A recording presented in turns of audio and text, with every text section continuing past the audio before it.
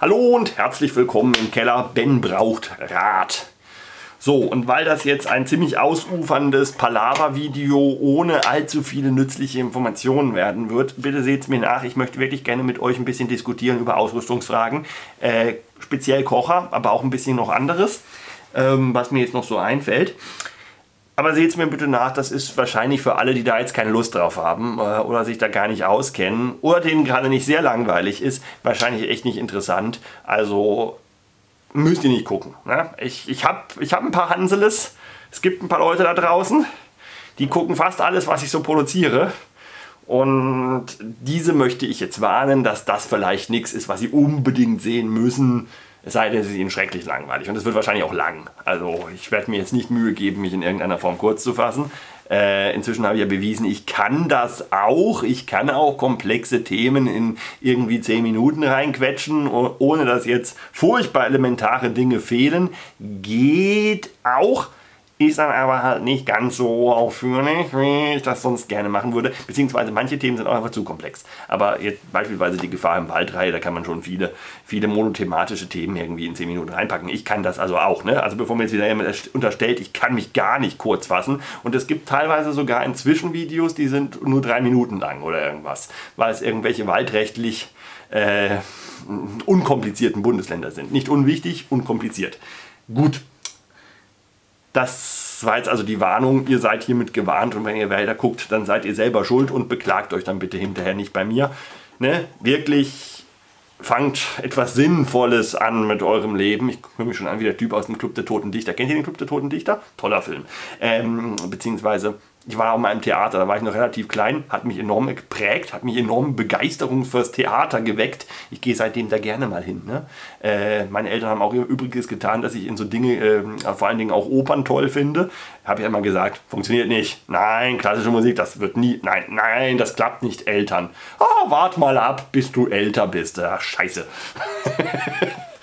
äh, so, also, Diskussionsrunde hiermit eröffnet. Outdoor-Kocher-Frage.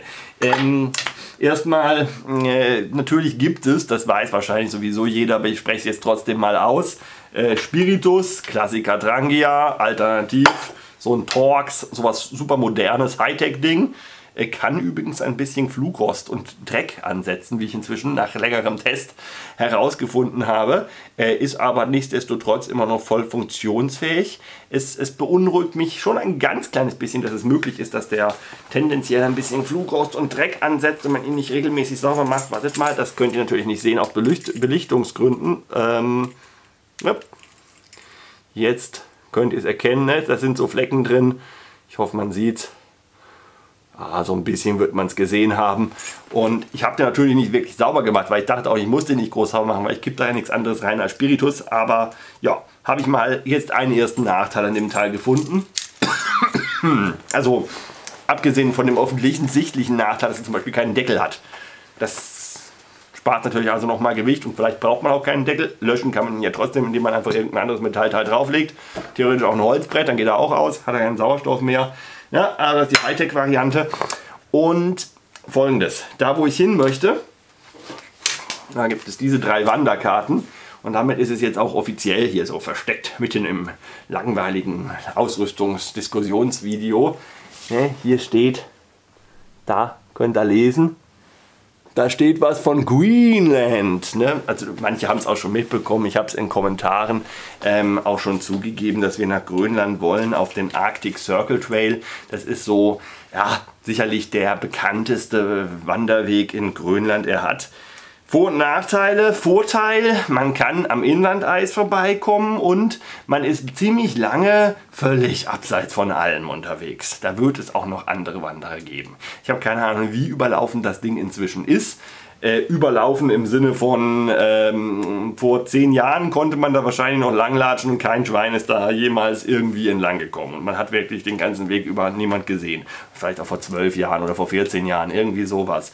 Inzwischen wird man wohl unterwegs tatsächlich Leuten begegnen. Das dürfte allerdings eine sehr geringe Ausnahme bleiben und wahrscheinlich sieht man die über die gesamte Tour irgendwo mal wieder wieder. Außer man ist extrem langsam oder viel, viel, viel schneller als der Rest der Welt. Äh, das, ist natürlich schon so eine Option, aber äh, die Hoffnung, dass man da gar niemanden trifft, die habe ich aufgegeben. Das ändert aber nichts dran, dass man 180 Kilometer in grönländischer Wildnis, auch wenn es Wildnis ist, in der ein gewisser Verkehr anderer Wanderer stattfindet, zurücklegen muss und das vollständig autark. Man hat gar keine Möglichkeit, irgendwo unterwegs noch Nahrungsreserven aufzugreifen. Es gibt Hütten, es gibt gar nicht so wenig Hütten, wie man vermuten müsste, da wir ja wirklich von Grönland verflucht nochmal reden. Das ist das Land, wenn man es als eigenständiges Land und jetzt mal nicht als Dänemark zugehörig ansehen möchte, ähm, dann ist es das Land mit der geringsten Bevölkerungsdichte. Grönland ist gigantisch groß, auch wenn es auf den meisten Weltkarten zu groß aussieht, aufgrund dessen, dass das nach oben verzerrt je näher man dem Pol kommt, weil die Sandmasse insgesamt geringer ist und es aber trotzdem einen Großteil des Breitengrades entsprechend ausmacht, weil es halt relativ breit ist, aber äh, geografische Fragestellungen, da müssen wir uns jetzt nicht drum kümmern. Jedenfalls ist Grönland bei weitem viel, viel, viel größer als Deutschland. Ich kann jetzt gar, gar keine genaue Zahl sagen, was ich aber weiß, dass es 54 Millionen, äh, 54.000 Einwohner hat. Hm? Die nächste größere Stadt bei mir nennt sich Rastatt, äh, ist aus meiner Sicht schon eine größere Stadt, ist aber verglichen mit irgendwas wie Berlin, und Berlin ist international immer noch klein, äh, ist Rastatt winzig. Ne?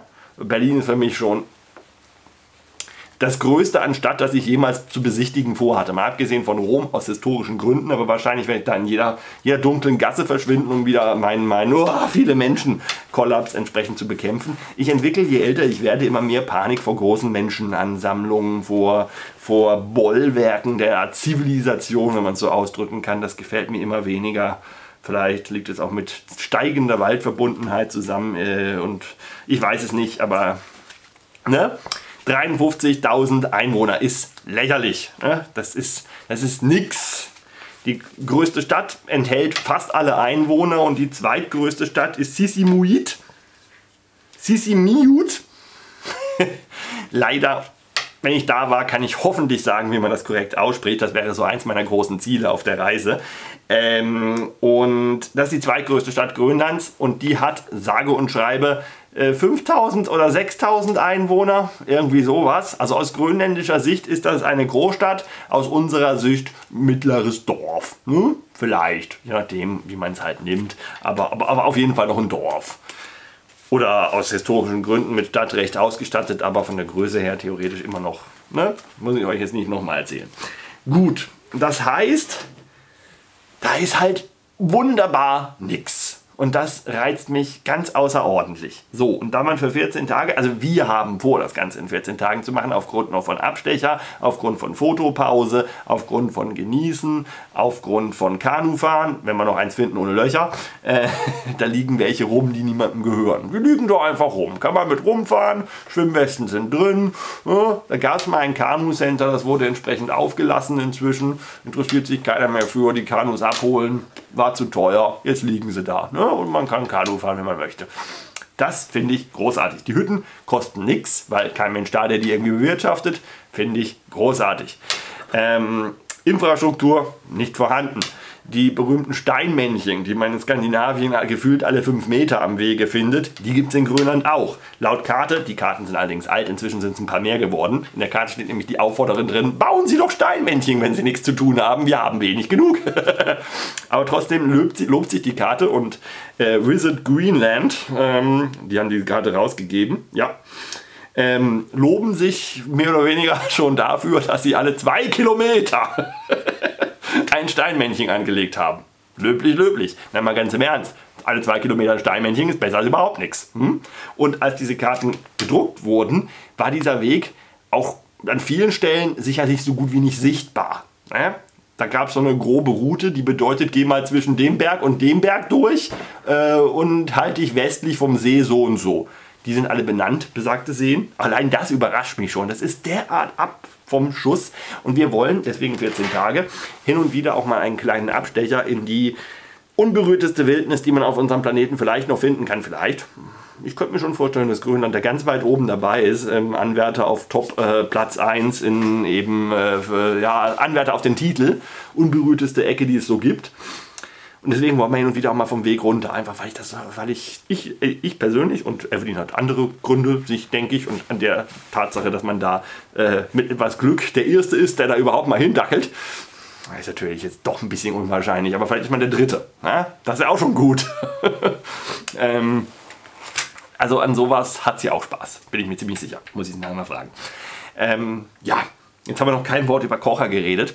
Da wir aber so, wie gesagt, vorhaben, 14 Tage eben entsprechend für den Weg zu brauchen, äh, das sind 180 Kilometer, äh, das sind 14 Tage wirklich nicht schwer, ne? das kann jeder. Äh, nur gehen wir ja nicht jeden Tag. Wir wollten es eigentlich in etwa, also meine Überlegung war 9 bis 10 Etappen, das ist normal, das wird so in Landeführ Reiseführern und auch in der Karte selbst äh, die hat jede Menge Informationen auf der Rückseite, hervorragende Karte, ähm, entsprechend beschrieben. Und was normal ist, ist immer ein gutes Tempo für mich, finde ich. Ne? Ich habe keinen Anspruch, super sportlich unterwegs zu sein. Ich will aber auch nicht überdurchschnittlich lahm sein. Also äh, war ich schon und dann hatte ich gute Gründe dafür. Äh, wenn ich aber alleine bzw. im eingespielten Team mit Evelyn unterwegs bin, dann muss das nicht sein. Ne?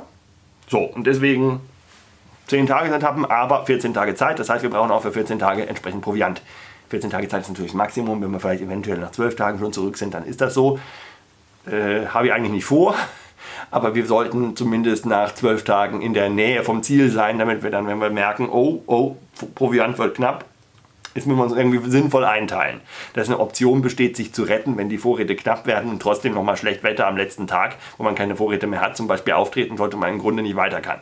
Dann kann man einen Tag hungern und dann doch nochmal weiter. Eine verpasst einen Rückflug, scheiße, also alles doof. das heißt, mit ein bisschen Reserve entsprechend zurückkommen, generell nicht verkehrt. So, da wir zwar jetzt einige Maßnahmen durchgeführt haben, um unser Rucksackgewicht drastisch zu reduzieren, allein die Tatsache, dass ich diesmal nicht mit einem Zweimann-Zelt alleine unterwegs bin, sondern mit einem Zweimann-Zelt zu zweit, spart pro Nase ca. 1,3 Kilo. Das ist meine Hausnummer. Das ist wirklich, wirklich, wirklich eine Hausnummer. Ne? Darauf können wir uns einigen.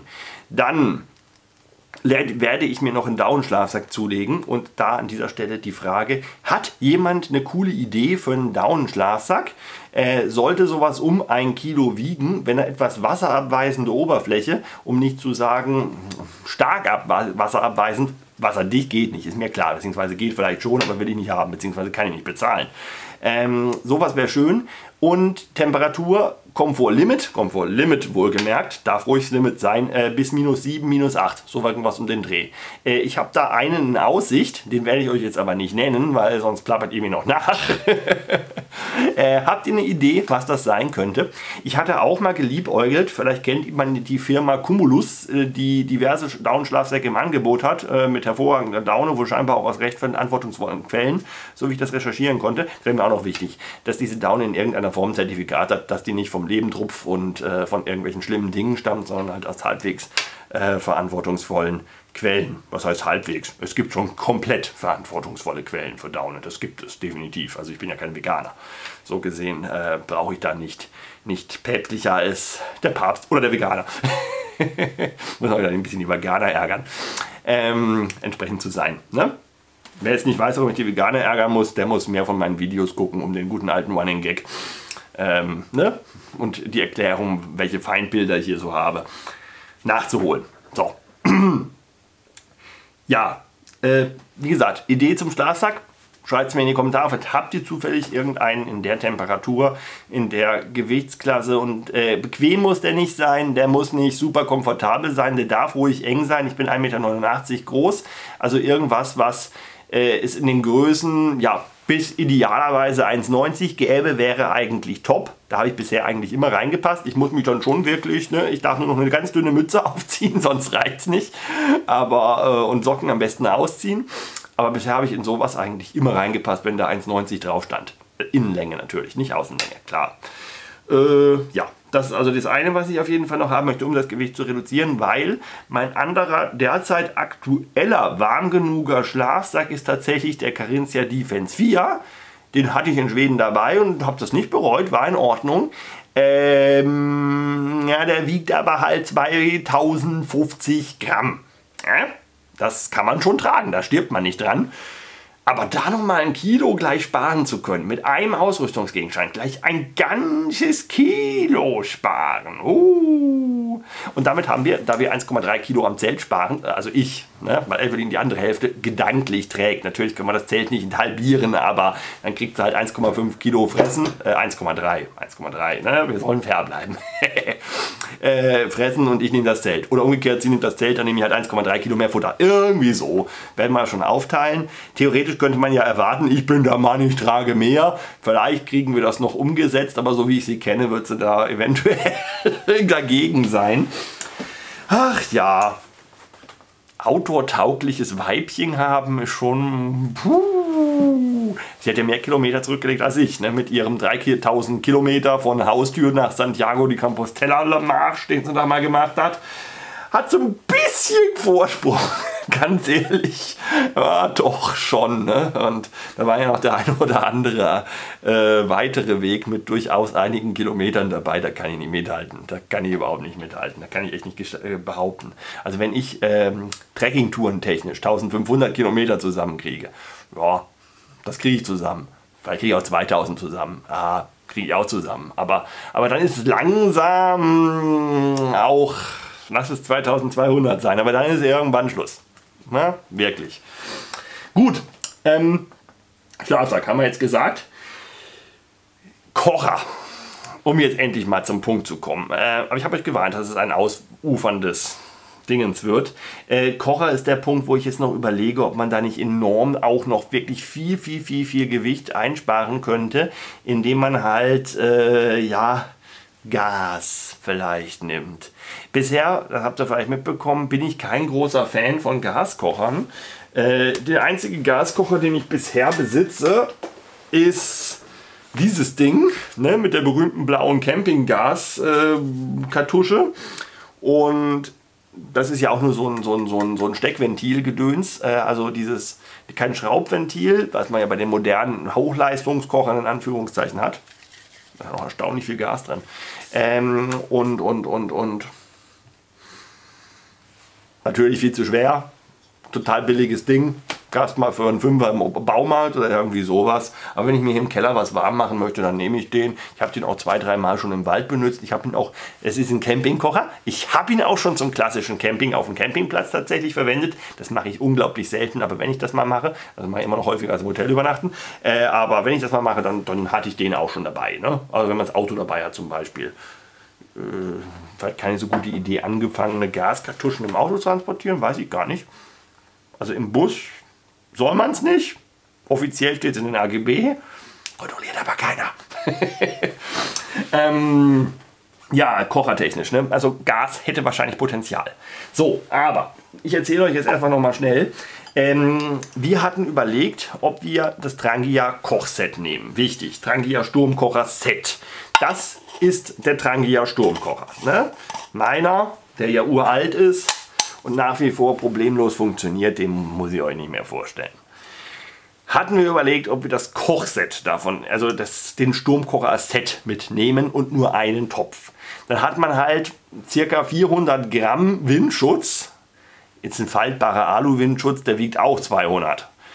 Äh, Vielleicht hat man auch 500 Gramm Windschutz, wie, das komplett, wie sich das zusammensetzt, das Gewicht vom gesamten Trangia-Set, weiß ich nicht. Ich weiß aber, dass mit einem Topf man das Gewicht von einem Trangia Sturmkocher-Set auf ungefähr, hart analysiertes Aluminium, das ist nicht viel schwerer als normales, äh, 800 Gramm runterkriegt. Na, so irgendwas. Mit Topf, wohlgemerkt. Das ist gar nicht so schlecht. So, und jetzt ist es so, dass das Set, wohlgemerkt, nicht der Brenner alleine, aber das Set einfach einen derart guten Windschutz hat und eine derart gute Verteilung von Flamme um Topf, weil das ja alles miteinander ineinander passt. Ich besitze das Set nicht, Evelyn hat's und ich bin ja, wie ihr seht, im Keller. Äh, deswegen ist es nicht hier, sonst würde ich es euch auch zeigen. Da da kommt schon ordentlich Performance, sage ich jetzt mal, entsprechend bei rum. Ne? Ähm, aber Spiritus per se, egal wie gut der Kocher ist, den man dazu verwendet, ähm, hat halt nun mal einen miesen Brennwert. Das ist unter all den möglichen Brennstoffen, die man outdoors benutzen kann, der schlechteste. Auch Esbit ist noch besser vom Brennwert her. Ne? Auch wenn das viele Leute nicht einsehen wollen. Es ist aber auch der billigste. Nicht unbedingt im Ausland, gar nicht. In Norwegen kostet ein Schweinegeld, der liebe Spiritus. Äh, in Schottland im Übrigen auch. Äh, gut, in Norwegen kostet alles ein Schweinegeld. Das haben sie gemeinsam mit der Schweiz. Hihi. Ich Schweizer ärgern. Ich bin, wobei die Schweizer mich bestimmt nicht mögen wenn ich mal eine von ihnen verführe, gegebenenfalls vielleicht, eventuell, äh, äh, ihnen untreu zu werden, eh, lassen wir das. Äh, jedenfalls, mh. Mm. Spiritus, jein. Ist halt cool, ist halt einfach zu kriegen. Spiritus hat als Notoption, ich möchte betonen, als Notoption, ne, wirklich, wenn alle Stricke reißen und man am halben Verzweifeln ist und man unbedingt gewichtlos werden möchte, dann kann man, und das ist mir schon passiert, dass ich wirklich zu viel Brennstoff, so viel Brennstoff dabei hatte, dass das eigentlich zum Problem wurde. Äh, nicht in Schweden, also da auch, aber da habe ich reich, reichlich Möglichkeiten gehabt, irgendwelche Gastgeschenke in Hütten zurückzulassen. Das war es kein Problem, unterwegs Brennstoff loszuwerden. Aber Spiritus kann man zur Not ah, auch in der Umwelt entsorgen. Ne? Der ist zu ganz großen Anteilen biologisch abbaubar, wenn nicht sogar komplett. Ne? Ähm, mit ganz schwerem Herzen, dann aber, das, das, das geht unter Umständen, wenn wirklich alle Strecke reisen. Das ist einfach nochmal so ein positiver Nebenaspekt bei Alkohol, den ich äh, bisher, glaube ich, noch nicht erwähnt habe. Aber wirklich mit, mit, mit argen Bauchweh. Ne? Das nochmal hinzugefügt. Jo, ähm, dann die nächste Alternative ist natürlich Benzin. Da kennt man vielleicht auch schon von mir, hatte ich auch schon ein entsprechendes Video dazu gemacht. Das Schöne ist halt sowohl Spirituskocher in verschiedenen Ausführungen. Hier ist auch mal der Torx. Ne? Äh, dieses Hightech-Ding aus Titan, das wirklich nichts wiegt im Vergleich zum Trangia-Brenner, überhaupt nichts. Ähm, mit Benzin habe ich dahingehend Erfahrung, dass ich mich damit auskenne und zweitens habe ich es schon da. Müsste ich mir nichts Neues kaufen. Will mir nicht unbedingt was Neues kaufen, wenn es nicht unbedingt sein muss. Benzin würde in Grönland absolut funktionieren. Hundertprozentig, definitiv. So, blöd nur, in Anführungszeichen, dass das hier selbstverständlich ein Benzinkocher ist der eigentlich für bis theoretisch auch große Töpfe und irgendwas, was man mit so richtig Power beheizen muss, auszulegen ist. Für kleine Kochvorhaben, und wir werden uns eigentlich im Wesentlichen nur unter Wasser heiß machen, allenfalls machen wir mal einen Kartoffelbrei oder sowas. Ähm, wir wollen nicht wirklich kochen, wir wollen einfach effiziente Nahrung haben. Ähm, die Gewichtskalorienverhältnisse so optimal ist wie irgendwie geht, Geschmack und äh, kulinarisches Kocherlebnis ist völlig zweit fünftrangig. Ne? Das kommt ganz hinten in der Liste dessen, was uns an der Marschverpflegung dann wichtig sein wird. Wir wollen das Land erleben, gut essen können wir daheim. Ja, das ist immer so die entsprechende Philosophie dahinter und gut essen tun wir daheim. Ich habe ja das Glück, mir eine tolle Köchin angelacht zu haben. Oh, oh, oh meine Fresse. Äh, ja, ähm, jedenfalls, das wäre durchaus eine Alternative. Ich zeige den nochmal schnell, wenn ihr noch nicht kennt. Ähm, den kann man jetzt, da habe ich dann nachher rußige Pfoten, entsprechend diese Beinchen hier so rausklappen.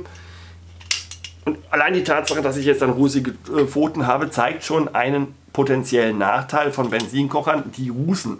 Das heißt, die sind auch, die müssen hier und wieder mal gewartet werden. Das wäre jetzt übrigens mal dringend notwendig demnächst. Also bevor ich das nächste Mal nehme, äh, oder zumindest für eine längere Tour einplane, muss ich den mal dringend wieder sauber machen. Dadurch, dass Benzin rußt, kann der Kocher verrußen. Das kann, man muss Werkzeug mitnehmen. Man braucht natürlich jetzt bei so einem System nochmal einen externen Windschutz. Den würde man jetzt beim Trangi ja nicht brauchen, weil der Windschutz beim kompletten System ja entsprechend integriert ist. Allerdings muss ich sagen, jetzt so ein Stück Alublech als Windschutz reicht für diesen Kocher vollkommen. Funktioniert wunderbar. Äh, 80 Gramm, 80 Gramm, vielleicht 80 Gramm. Ne? Also schon sehr leicht.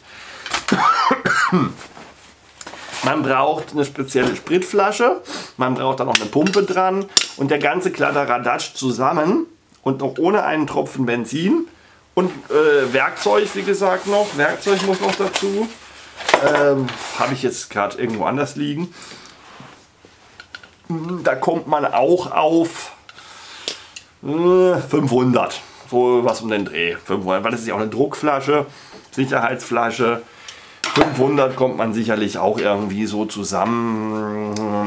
Lass es 600 sein, wenn du alles an Werkzeug mitnimmst, was irgendwie notwendig sein könnte, was man eigentlich tun sollte, wenn man völlig autark unterwegs ist, weil wenn einem der Kocher versagt, dann hat man den Salat. äh, ja, dann könnten es auch 600 sein. Und da ist jetzt noch kein Topf dabei.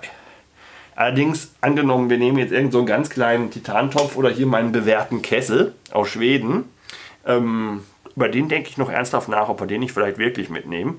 Äh, der wiegt 130, ich glaube 130, 140, irgendwie sowas. Okay, ohne Deckel sagen wir einfach mal spaßeshalber, der wiegt 200. Nur spaßeshalber. Das, damit man es ja realistisch irgendwo einschätzen. Dann sind wir also mit, ne, dann sind wir auch bei 800 Gramm. Ungefähr.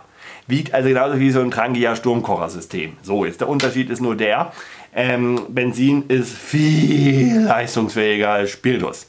Mit einem Gramm Benzin kriegt man also, beziehungsweise mit einem Liter Benzin, da kannst du massenweise Liter heißes Wasser machen, mit einem Liter Spiritus, ja, fünf. Ja. Und Spiritus verliert halt nochmal zusätzlich sehr arg an Leistung, wenn es kalt wird. Ist nicht nur so, dass man den dann schwerer anzünden kann, sondern der brennt dann auch schlechter, schlicht und ergreifend. Und äh, da ist es, da, die Kälte von außen wirkt quasi gegen die geringe Wärme vom Spiritusbrenner sozusagen entgegen. Und der Kochvorgang kann wirklich bis zu ewig dauern.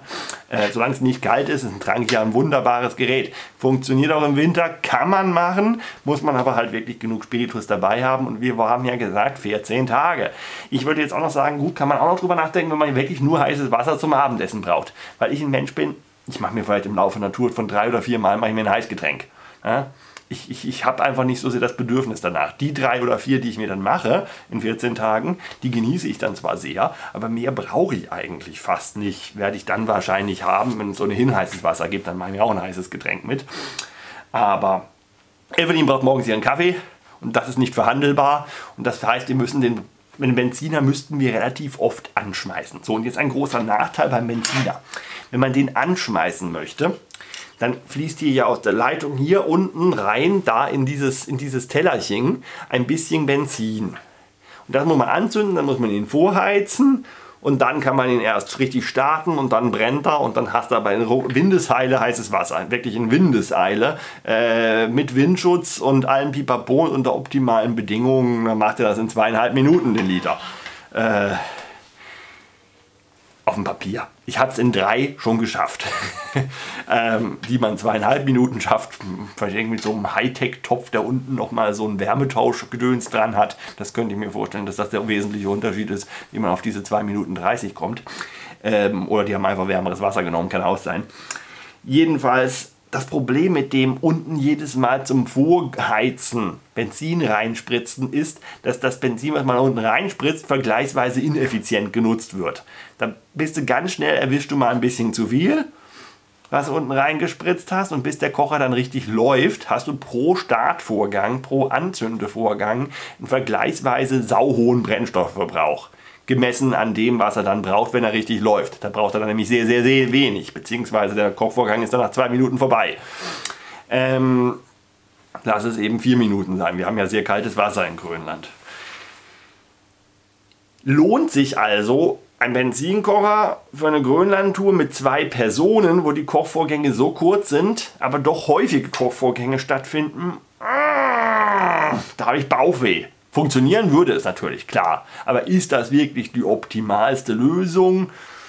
Äh, Bauchweh, Bauchweh. Bauchweh, Bauchweh, Bauchweh. Dann vielleicht vom Gefühl her lieber ein Trangia, weil den zündest du an. In dem Moment funktioniert er, in dem Moment macht er Hitze. Äh, und du verbrauchst nicht zum Vorglühen bei jeder kleinen Zündung, bei jedem Tässchen Kaffee ähm, einen Haufen Brennstoff. Benziner, super, wenn du einen großen Hordentopf heiß machen möchtest. Da geht gar nichts anderes, außer vielleicht noch ein extrem leistungsstarker Gaskocher wäre eine Alternative. Benzin geht aber auf jeden Fall nochmal einen dicken besser. Spiritus also aufgrund der Mengen an Brennstoff, die wir mitschleppen müssten, Vorsicht, Vorsicht, Vorsicht. Also ein Liter muss man mindestens einplanen, egal wie effektiv, äh, für 14 Tage, für zwei Personen. Äh, mit Morgenkaffee ist ein Liter eigentlich zu knapp. Da müsste man anderthalb Liter mitnehmen. Und dann hätte ich noch gerne eine Reserve, weil ich halt eben bei Scheißwetter oder bei richtig großer Kälte einfach dem Wärmevermögen von Spiritus nicht traue und Angst habe, dass wir dann enorme Erhöhungen des Brennstoffverbrauchs hätten. Dann müssten wir zwei Liter mitschleppen. So, damit wiegt ein Trangia 2,8 Kilo samt Brennstoff. Ne, das Trangia-System. Mit einem Benziner würde ich sagen, reicht bei nur Abendessen kochen ein Liter für die ganze Tour. Erfahrungswert. Ich bin mal 10 Tage äh, mit 700 Milliliter wunderbar ausgekommen. Mit abends für Heißwasser für Abendessen machen. Ne? Mehr habe ich nicht gekocht. Ähm, das hat problemlos funktioniert und ich hatte und ich hatte dann noch gut übrig, um mir eine Dose Schöttbulla, diese Fleischbällchen, diese schwedischen, auf dem Campingplatz warm zu machen, als es Dosen zu kaufen gab. Oh, die besten Schöttbulla meines Lebens, wenn ich die korrekt ausspreche. Jedenfalls, mh, mm, mein Grau-Hauptproblem, was mir wirklich zu denken gibt, ist das häufige An- und Ausmachen von dem Kocher und dem jedes Mal damit exponentiell hohen Brennstoffverbrauch und damit will ich den einfach nicht mitnehmen, wenn ich es vermeiden kann. So, könnt ihr mir, liebe Kocherfreunde, bis dahin folgen? Ist das für euch nachvollziehbar? Habt ihr das Video bitte auf doppelter Geschwindigkeit geguckt, damit ihr nicht ganz so viel Lebenszeit verschwendet? Wenn nicht, geht mal da unten in die Einstellungen. Da gibt es irgendwo so, wenn ihr auf dem Smartphone guckt, sind es glaube ich so drei Punkte oder steht oben rechts bei der YouTube-App. Äh, wenn ihr auf dem Computer guckt, ist da irgendwo so ein Zahnrädchen unten rechts vom Bild und da gibt es irgendwo Wiedergabegeschwindigkeit. Man kann mich mit 125% noch wunderbar verstehen, man kann mich mit 150% auch noch gut verstehen, mit 200 muss man halt entsprechend schneller denken, aber andererseits erzähle ich ja nichts Komplexes. Ne? Ähm, deswegen tendiere ich doch sehr zu Gas. So, und wie erwähnt, das ist mal einer Gaskocher. Ich habe zwar recherchiert und jede Menge theoretisch dazu gelesen, aber ich habe einfach keine Erfahrung mit irgendwelchen neuen modernen Outdoor-Gaskochern. Habt ihr einen Plan, was ich da nehmen könnte? Aber ich sage euch mal meine bisherigen Rechercheergebnisse und meine Tendenz. Am Ende entscheidet nämlich sowieso ich. Wird es hoffentlich niemand überraschen. So, ähm, nämlich, es gibt im Wesentlichen, so aus meiner Sicht, äh, Systeme, die so ein bisschen aussehen wie ein Benzinkocher. Die haben auch hier so eine ne, Vorglüheinrichtung, also so eine, so eine Spindel, das da, äh, bei dem quasi das der Brennstoff, das Gas in dem Fall, hier ist es natürlich Benzin, aber beim Gaskocher wäre es dann Gas, äh, durch die Flamme geleitet wird bevor es dann quasi die Flamme speist. Soll heißen, was danach kommt als Benz an Benzin, wird im Kocher aufgeheizt, bevor es dann, also dann, dann, tritt es quasi gasförmig aus der Düse aus, weil es hier schon super heiß geworden ist. Und damit vergast, sobald das Ding da rauskommt quasi. Ja? Und das tut Gas vergast ja schon, sobald du den Hahn aufdrehst und das Gas strömt raus und dann ist es entsprechend gasförmig und dann kann man es anzünden, beziehungsweise dann brennt es. Ähm, Problem wenn es super kalt ist, ist Flüssiggas, weil in diesen Kartuschen ist ja jeweils Flüssiggas drin, da ist ja kein Gas in, als Gas drin, sondern als Flüssigkeit, würde sonst viel zu viel Platz brauchen, schlicht und ergreifend, steht unter Druck, deswegen ist es flüssig. Ähm, das hat einen Siedepunkt. Und der Siedepunkt liegt bei äh, Okay, das ist sogar ein Butan-Propan gemischt. Jedenfalls bei Butan, dem, dem, dem schlechtesten Gas, was man in solchen Kartuschen bekommen kann, äh, liegt der Siedepunkt bei 1 Grad. Ist es also kälter als 1 Grad, verdampft das nicht von alleine. Das heißt, man muss es wärmer machen als 1 Grad, damit das überhaupt entsprechend verdampft. So. Äh, Quatsch, nee, Entschuldigung, der Siedepunkt liegt bei minus 1 Grad. Minus 1 Grad, sorry. Ähm, blöd nur, wenn jetzt hier aus so einer Kartusche das entsprechende Gas ausströmt, dann dehnt sich das ja aus. Wird äh, Quatsch. Die Flüssigkeit kommt dann natürlich, fließt raus, wird zu Gas und in dem Moment verliert sie, Energie, äh, ja, verliert sie Energie. Ein Übergang vom flüssigen zum gasförmigen Zustand äh, bedeutet Energieverlust und das äußert sich dahingehend, dass die Kartusche kälter wird. Irgendwie so, ich habe in Physik nicht aufgepasst, aber so viel weiß ich, dass die Kartusche dann kälter wird. Und zwar wird die kälter, habe ich nachgelesen, um 4 Grad. Ähm, was bedeutet, dass man ein reines Butangas ja, Butan war es, in Form einer solchen Gaskartusche ab 3 Grad nicht mehr benutzen kann. Und wenn ich da weiter dran rumschüttel und so weiter und so fort, beginnt mein Gaskocher zu blubbern. Das ist beängstigend. Ich stelle ihn mal schnell weg, bevor er explodiert. Absolut sicher. so, ähm, Das ist also scheiße, weil wir haben durchaus eine gute Chance, dass wir zwischendrin mal ein paar Minustemperaturen haben. Nicht immer und nicht lange, aber haben wir schon eine gute Chance. Und wenn das schon bei 3 Grad Schluss ist mit dem, was ich verheizen möchte, ist das blöd. So, jetzt ist aber so, dass in diesen Kartuschen in den seltensten Fällen reines Butan drin ist, sondern bei dem günstigeren ein Butan-Propan-Gemisch. Bei den ganz tollen ist es ein Butan, Isopropan und Propan-Gemisch. Oder war es Isobutan? Ich weiß es nicht genau. Äh, ich kann auch genau sagen, wie das aussieht und kann es euch aufmalen, aber das hilft uns jetzt nicht weiter. Äh, jedenfalls diese Mischerei der verschiedenen Gase, die unterschiedliche Siedetemperaturen haben. Propan zum Beispiel äh, siedet schon bei minus 20, glaube ich. Ähm, irgendwie sowas. Würde schon dazu führen, dass man dann ein Gas hätte, was problemlos auch bei niedrigen Temperaturen verwendbar ist, weil sobald du den Hahn aufdrehst, strömt es raus, ist gasförmig, kann angezündet werden. Blöd ist allerdings wiederum, dass man, wenn man ein reines Propangas mitnehmen wollte, einen krass stabilen Druckbehälter bräuchte, weil wegen des niedrigen Siedepunkts von Propan braucht man viel, viel, viel, viel Druck, um Propan dann auch flüssig zu bekommen. Ja? Ähm, und das ist dann scheiße, insbesondere wegen, weil man die leere Gaskartusche danach noch durch die Landschaft schleift. Und super schwere Gaskartuschen will keiner haben. Deswegen gibt es eben diese, diese, diese entsprechenden Mischungen. Es gibt, habe ich mir schlau gemacht, auch ein Wintergas von irgendeinem namhaften Hersteller, der mir gerade nicht einfällt. Das hat eine besonders ja, äh, niedrigen Siedepunkt habende äh, Gasmischung ist vergleichsweise teuer, aber das löst jetzt auch nicht alle Probleme. Das ist irgendwie 15 bis 20 Prozent, je nachdem, wie man fragt, äh, leistungsfähiger bzw. hat einen 15 bis 20 Prozent niedrigeren Siedepunkt als die normalen Gasgemische. Also auch das löst nicht alle Probleme und damit haben wir dann die Grenze des Gaskochers erreicht. Das ist in jedem Fall die Grenze des Gaskochers. Es gibt einfach Temperaturen, da kann man mit Gas nicht mehr kochen. Minus, unter minus 20 geht es gar nicht mehr, beziehungsweise nur noch unter vorheizende Kartusche, kommen wir gleich noch zu, ähm, weil selbst reines Propan eben einen Siedepunkt von minus 20 hat, ist es kälter als minus 20, dann siedet das gar nicht mehr und dann ist, bleibt es flüssig und dann hast du ein Problem. So, Benzin geht immer, immer, immer, auf jeder Höhe, bei jeder Temperatur.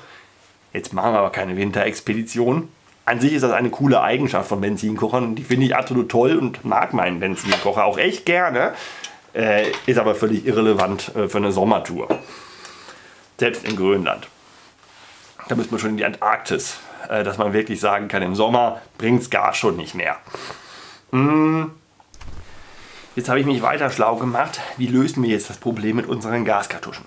Weil Wintergas Spezial, keine Ahnung, ob es das in Kangalusuak also dem Flughafen, wo wir hier steht's. Na, Del Scharf oder muss ich nachhelfen? Nein, machst du brav.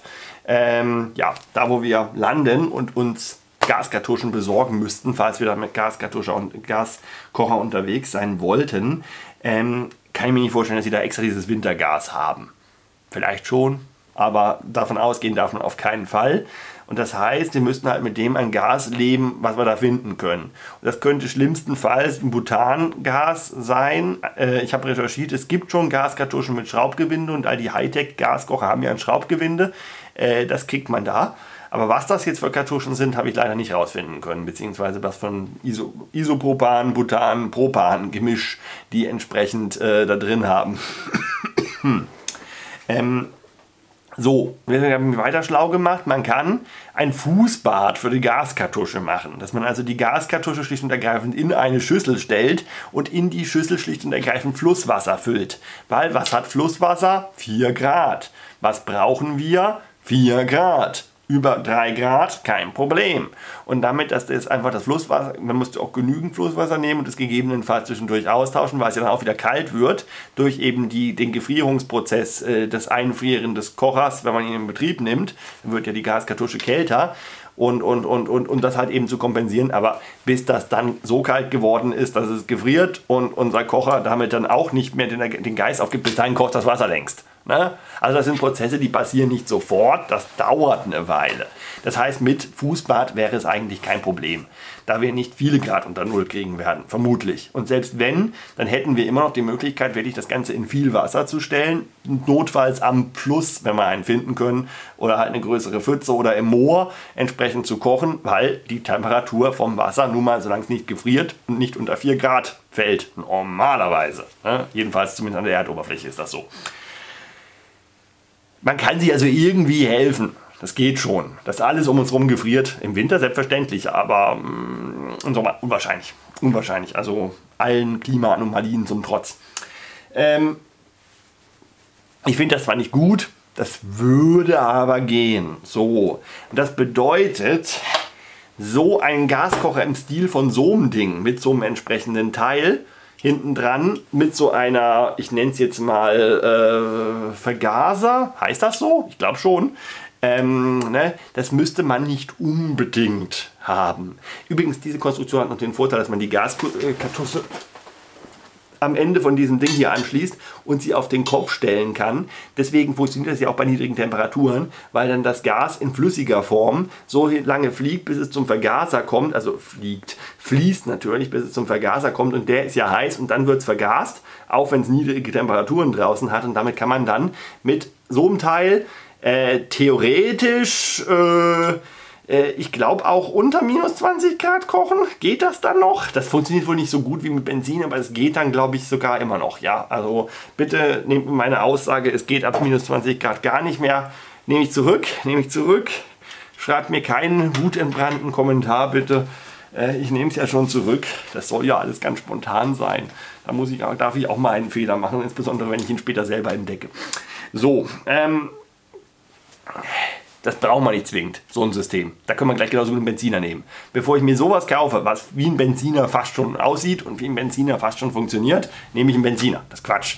So, aber das gäbe es. Und das würde funktionieren. Aber das brauche ich nicht. So, jetzt. Deswegen habe ich mir jetzt zwei Sachen überlegt, die mich reizen würden von der Gaskocherwelt. Einmal sind das so Dinge wie ein Jetflame, sagt euch das was? So Systemköcherchen, ähm, die aus einem die Oberfläche vergrößernden Heizteil unter dem Topf bestehen, das fest an den Topf angebracht ist oder wo man den Topf direkt draufschreiben kann. Unter diesem Heizteil, sieht aus sieht so ein bisschen aus wie ein Heizkörper, äh, kann man dann direkt den Brenner schalten und der hat dann vielleicht noch so Füßchen, mit denen man das Ganze schön hinstellen kann und um den Topf drumherum gibt es noch eine Neoprenhülle und das Ganze hat auch noch einen super Windschutz und das ist ein in sich geschlossenes System, sieht aus wie ein kleiner Schornstein. Ähm, und das kriegt unglaublich effiziente Wasserkochzeiten hin. Haken, man kann mit so einem System nur Wasser kochen. Da kannst du wirklich nur Wasser, bestenfalls noch Eier in den Wassern, äh, im Wasser äh, drin heiß machen und vielleicht noch Asianudeln, dass du die direkt ins Wasser schmeißt. Das geht natürlich auch. Aber mehr als wirklich Wasser kochen kannst du mit dem Teil echt nicht.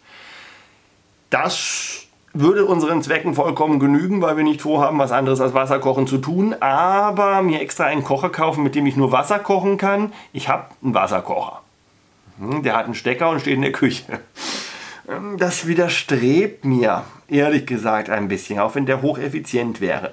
Und die große Angst, die ich mit dem Ding habe, dadurch, dass das alles so sehr ineinander gefügt ist und so sehr zusammenpasst, äh, bin ich mir nicht sicher, ist man da wirklich flexibel bei der Auswahl der Gaskartuschen, die man da dran schrauben kann? Wisst ihr das? Da wären wir jetzt wieder bei einer Frage.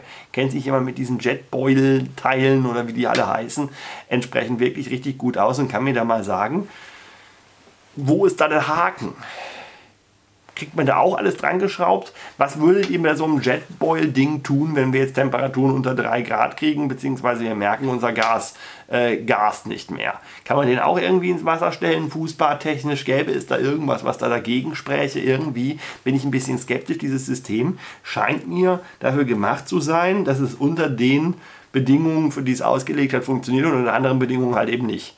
Also dass die Flexibilität einfach gering ist bitte beruhigt mich und sagt mir, dass das toll ist, dann denke ich da ernsthaft drüber nach, ob wir sowas nicht vielleicht sogar mitnehmen wollen, wenn da jede erdenkliche Schraubgaskartusche auch drauf passt. Ja, das wäre schon wirklich was, wo man drüber nachdenken könnte. Ich habe ihn mal schlau gemacht, die wiegen wohl sowas um die 450 Gramm, 500 Gramm vielleicht, je nach Variante. Vielleicht gibt es die auch noch mal ein bisschen leichter. Da ist ja ein Topf auch schon gleich dabei und so ein kleiner Topf würde uns eigentlich genügen. Ähm, schon vielversprechend. Ne? Ähm, das wäre dann jetzt bisher der leichteste Kocher in den diversen Setups, die, wir hier, die ich mir jetzt hier überlegt habe. Und dann, ich kann das ja alles nicht zeigen, ich habe ja sowas nicht, gibt es noch so winzig kleine Köcherchen, die man quasi direkt auf die Gaskartusche schraubt. So wirklich ganz kleine Teile, wo man im Prinzip nur einen sehr kleinen Topf bis maximal einen Liter Volumen draufgestellt kriegt, weil die einfach so ganz klein und filigran sind und die wiegen etwa 50 Gramm. Also abartig, wie leicht das ist für einen Kocher. Ne? Äh, völlig abartig. Oder von mir aus wiegen sie auch 80 Gramm, je nach Modell. Ich habe mir jetzt mal ein paar Modelle zusammengegoogelt, habe sie jetzt alle wieder vergessen, weil ihr sollt mir sagen, was ich kaufen soll. Ähm, dementsprechend keine Ahnung. Entschuldigung. Die Überlegung ist jetzt halt einfach, wenn man so einen super leichten Kocher hat und dazu jetzt noch irgendeinen Titantopf, den ich ja schon habe, äh, nimmt, wobei ich würde aus Nostalgiegründen echt den Kessel nehmen. Außerdem passt da mehr Wasser rein. Dann kann äh, man gleich zwei Kaffees zum Frühstück machen. Also nicht, dass ich zwei brauche, aber hm, wer weiß. ähm, da kommt man selbst mit dem Kessel, und da haben wir gesagt, der wiegt 200 Gramm, da ist man bei 250 Gramm fürs Kochgeschirr. Ja, hallo? Das ist nix. Man müsste eigentlich noch einen Windschutz mitnehmen. Und der wiegt sagen wir einfach mal 100 Gramm. Ja gut, dann ist man bei 350 Gramm. Dann sind wir ungefähr so, nee, sind wir immer noch 100 Gramm leichter als bei diesem Jetboil-Gedöns und so weiter. Äh, jetzt ist die Frage allerdings, ist dieses kleine Mini-Köcherchen ähm, denn zumindest ähnlich effizient wie so ein Jetboil. Ich glaube, kaum was ist wirklich effizienter als ein Jetboil. Die sind ja wirklich von den Kochzeiten her äh, jenseits von Gut und Böse. Und es ist nicht so, das ist nochmal wichtig fürs Verständnis. Wer das jetzt schaut und nicht genau weiß, warum, warum labert er dauernd was von Kochzeiten von drei Minuten? Hat er es denn eilig in Grönland? Nein, habe ich nicht. Wegen mir könnten die Kochzeiten auch 30 Minuten eine Stunde sein. Scheißegal. Es geht um den Brennstoffverbrauch. Je lange der Brenner läuft, desto wenn er läuft, braucht er Brennstoff. Darum geht's. Brennstoff knapp, muss man alles mittragen. 100% muss man mittragen. Es gibt übrigens so gut wie keine Bäume auf Grönland. Es gibt am Südzipfel so ein bisschen was, was man zwar als Baum bezeichnen kann, was aber auch nur ein paar Meter hoch ist. Ne? Aber es ist zumindest mal höher als ein Mensch. Äh, Brennholz finden in Grönland, das ist zwar in einer Notsituation möglich, aber es ist völlig verantwortungslos, da mal irgendwie irgendwelche Zwergweiten und ähnliches zu verheizen. Das sind teilweise uralte Pflanzen und jetzt gehen wir hin und verheizen die, weil wir zu faul sind, um Brennstoff mitzutragen. Das kommt hinten und vorne nicht in die Tüte. Also Feuer machen, vergesst es. Geht nicht. Alles, was gefeuert wird, ist mitzutragen. So, ich könnte auch einen großen Stolz Holz mitnehmen. mhm, ja, genau. So, ähm, ja. Aber wie effizient sind diese Mini-Kocher? Wisst ihr da was? Könnt ihr mir dazu was sagen? Äh, mache ich jetzt hier einen schweren Denkfehler, wenn ich sage, okay, das ist das leichteste Setup, dann nehme ich doch das, das ist doch praktisch, weil wenn ich für das leichte Setup deutlich mehr Gas einplanen muss, hm. Nächste Frage, wie viel Gas muss ich denn einplanen? Habt ihr zu dem Kocher, den ihr mir eventuell vorschlagen wollt, das wäre schön, äh, irgendeine Vorstellung, wie man bei Temperaturen, sagen wir mal durchschnittlich 6 Grad, ne, irgend, das ist gar nicht so unrealistisch, ähm, wie man bei durchschnittlich 6 Grad, was für einen Gasverbrauch man denn da hat. Wenn man, sagen wir mal, einen Liter heißes Wasser pro Tag machen möchte. Na, lass es 1,2 Liter pro Tag sein. Ne?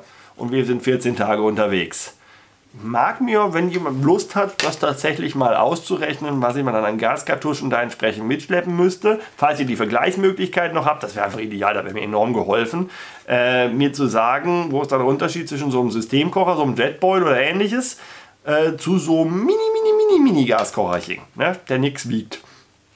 Und dann müsste es doch theoretisch möglich sein, rauszufinden, was ist denn da jetzt die effizienteste Lösung. Zumal so ein Jetboil, wenn man den günstigen, aus günstigen Quellen äh, bezieht, dann kostet er nicht die Welt. Und so ein mini, mini, mini, mini Kocher kostet auch nicht die Welt. Also ich könnte beides durchaus bezahlen. Ne? Also wirklich recht erschwinglich, die Dinger mir geht es wirklich ums Gewicht. Ne? Also wenn, wenn eins der beiden Systeme auch nur 100 Gramm spart, dann nehme ich das, was 100 Gramm spart. Ich habe da sonst keine Vorliebe. Oh, und damit haben wir, glaube ich, wirklich auf den Punkt gepackt, äh, gebracht, worum es mir geht. Und wenn ihr mir dann jetzt noch sagen könnt, was wiegt denn eigentlich eine leere Gaskartusche? Ich habe wirklich versucht, das rauszufinden, aber ich finde ums Verrecken, äh, vielleicht bin ich jetzt neuerdings zu blöd zum Googeln, ich weiß es nicht, äh, aber, aber, aber ich finde einfach keine glaubwürdige Quelle, die mir sagen kann, was eine leere Gaskartusche wiegt. Das war nämlich auch immer so ein Problem, was mich bei Gas stört. Ist die Flasche leer, schleppst du bis zum Ende der Tour die Gaskartusche durch die Gegend, weil du eine Gaskartusche zumindest nicht nachhaltig verantwortungsbewusst irgendwo in der Pampa entsorgen kannst. Kannst du schon machen, aber dann bist du halt ein Arschloch. Und da kommt nicht in Frage. Also bin ich schon manchmal, aber nicht ein solches, ein anderes. ähm, das kommt nicht in Frage, dass man so ein Ding dann in die Landschaft steht. Das trägt man dann wirklich bis zur ordnungsgemäßen Entsorgungseinrichtung in vermutlich Sisimiut. Sisimiut? Sisimiut, genau. Ähm, wird das dann entsprechend geschleppt. Aber so viel ist sicher. Meinungen, Ideen, Anmerkungen. Ich bin sehr gespannt. Mehr habe ich jetzt, glaube ich, nicht mehr zu sagen, außer dass wir uns sehr auf Grönland freuen. Habe ich erzählt, dass diese ganze Gewichtsersparnis, Gedöns und so weiter und so fort Sache deswegen notwendig ist, weil ich zweieinhalb Kilo, vielleicht sind es auch eher drei, sind eher drei, äh, an Kameraequipment mitschleppe? Das ist der springende Punkt. Und deswegen möchten wir gerne, äh, zumal Evelyn beim Tragen hilft, ähm, wirklich, wo es irgendwie möglich ist, Gewicht sparen, was geht. Und übrigens sind wir noch weiterhin, weiß nicht, ob ich das gesagt habe am Anfang, aber ich sage es jetzt im Zweifelsfall nochmal, weil es ist wichtig, wir wollen Gewicht spielen, wo es geht, nicht da, wo es nicht geht. Und aus unserer Überzeugung geht es zum Beispiel nicht ab bis zu einem gewissen Grad beim Zelt. Das soll nämlich durchaus grönländische Winde überstehen können. Und da traue ich mir einfach nicht mit irgendwelchen super, super, super leichten äh, Konstruktionen dran, sondern da will ich schon ein gewissermaßen erprobtes, sturmerprobtes Zelt entsprechend haben. Hammer. Ähm, auch nicht beim Schlafsack will ich keinen ultraleichten, der so gerade eben von der Temperatur her reichen könnte, sondern ich will einen, wo ich mir sicher sein kann, dass das eben entsprechend leicht äh, reicht. Auch wenn ich jetzt sage, ich nehme Daune. Ne? Und Kilo, ein Kilo ist für ein minus 7 äh, Comfort Limit äh, Schlafsack äh, durchaus sehr leicht. Ne? Also das steht völlig außer Frage. äh, aber was noch leichter ist, müsste es auch nicht sein. Also äh, dadurch, dass es dann weniger warm wäre oder so. Außerdem werde ich entsprechend schwere Stiefel, meine üblichen schweren Stiefel anziehen, weil ich laufe mit denen nun mal gut. So, und da fühle ich mich sicherer. Ich werde Treckenstöcke mitnehmen und die müssen auch nicht ultraleicht sein, das ist mir auch egal. Und ich werde auch einen schweren Rucksack mit einem hohen Gesamtgewicht, äh, Leergewicht mitnehmen, weil da ja eine entsprechend große Zuladung dazukommt. Zwangsweise, allein schon wegen dem Kameraequipment und dem entsprechend vielen Vorräten, weil wir ja 14 Tage autark unterwegs sind. Da braucht man ein bisschen fressen. Ne? So, Deswegen, das sind so Dinge, an denen werden wir nicht sparen und die wiegen halt, was sie wiegen. Und was wir dann außerdem noch mitschleppen müssen, das habe ich noch gar nicht zum Kameraequipment gerechnet, ist äh, die Stromversorgung für unterwegs. Also entweder ein Haufen Powerbänke äh, oder halt eben ein Solarpanel äh, und dann etwas weniger Powerbänke. Da sind wir auch noch am Überlegen. Falls jetzt jemand noch irgendwelche großartige Erfahrungen mit irgendwelchen speziellen Solarladegedönse äh, für unterwegs gemacht hat und mir da noch was zu erzählen möchte, dann bin ich auch sehr glücklich. Ne? Ich verteile theoretisch, wenn ihr damit was, wenn man damit was anfangen könnte, auch gerne digitale Kekse. Aber ähm, ja, ja, ne? weil ich habe es gelernt, wie man Keks-Emojis macht indem man Kommentare mit dem Handy kommentiert und dann kann man auch Keks-Emojis machen. Wer also ein Keks-Emoji haben möchte, bitte gerne. Äh, ansonsten muss ich jetzt wirklich mal Schluss machen, weil das führt sonst ins Bodenlose und zu nichts weiter. Also macht's gut. Ich hoffe wirklich, ihr habt auf 200% Geschwindigkeit gestellt. Muss ich euch noch vorne hinschreiben. Memo an dich, Ben. Schreib es vorne hin. So, aber jetzt. Tschüss, bis zum nächsten Mal. Vielen herzlichen Dank schon mal im Voraus, wer mir da weiterhelfen kann und an alle anderen auch, selbstverständlich. Macht's gut.